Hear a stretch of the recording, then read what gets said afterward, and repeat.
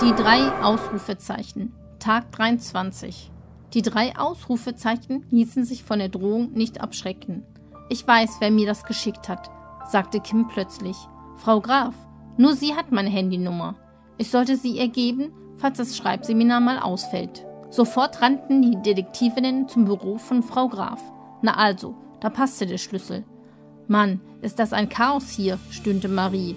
Nur der Schreibtisch ist schön aufgeräumt. Franzi guckte in eine griechische Vase auf dem Tisch. Leider nur Staub drin, sagte sie enttäuscht. Die Detektivinnen begannen fieberhaft nach Spuren zu suchen. Auf einmal hörten sie ein langgezogenes Miau.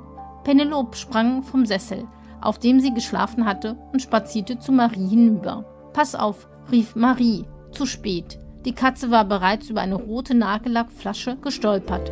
Marie starrte auf die roten Flecken am Boden. Sie sahen genauso aus wie die Flecken im Buch von Leon Gruber. Bevor Marie es ihren Freundinnen erzählen konnte, rief Franzi: Komm sofort her!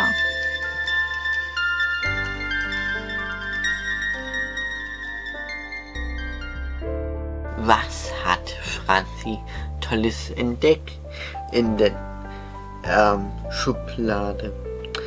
Ja, das sollte jeder herausfinden.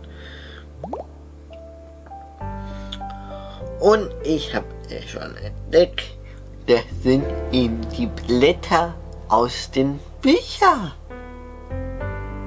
Leute, die hier, die Täterin, vielleicht oder vielleicht auch nicht, das sehen wir morgen, aber im Türchen, da können wir schon heute schon mal reinschauen.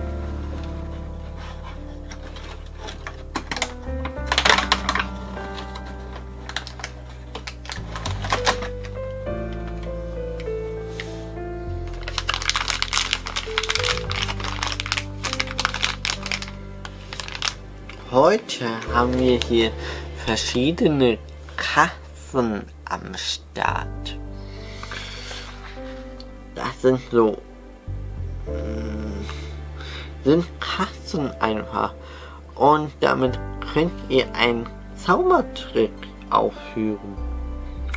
Okay, wie das sieht, das sehen wir in ein anderes Video in circa vielleicht ein halbes Jahr später und damit noch einen schönen Tag hier von meinem Kanal.